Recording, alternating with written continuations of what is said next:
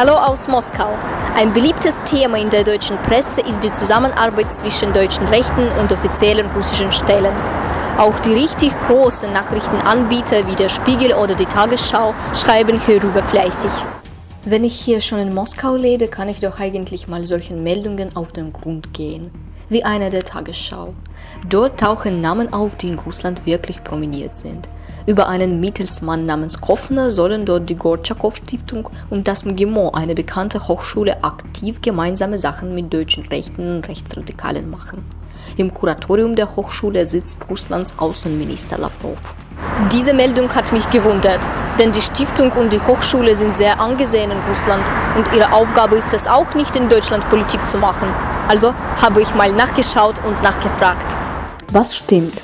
Der Mittelsmann Kofner war an der MGIMO Student und sein rechtes Netzwerk ist Teil der Eurasian Clubs, der früher an der Hochschule residierte und dann ausgezogen ist.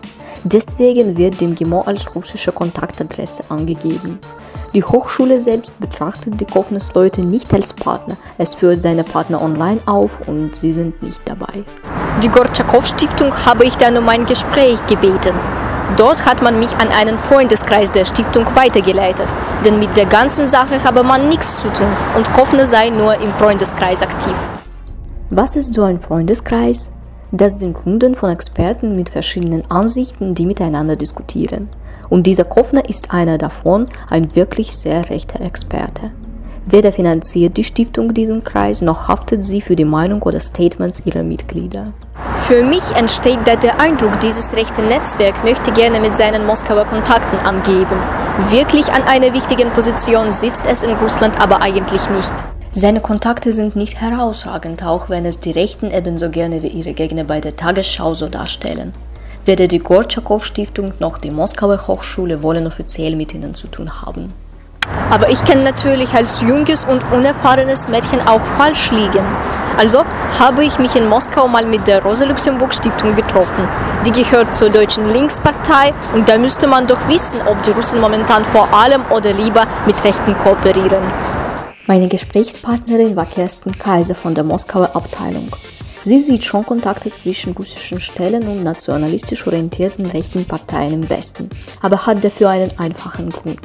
Es gibt Erklärungen dafür, dass auch ähm, russische Politiker mit ähm, europäischen Parteien sprechen, die nationalistische ähm, Forderungen oder auch rassistische Forderungen vertreten, weil sehr oft im Augenblick in der EU ein Boykott besteht und eben Gesprächsfäden abgerissen sind.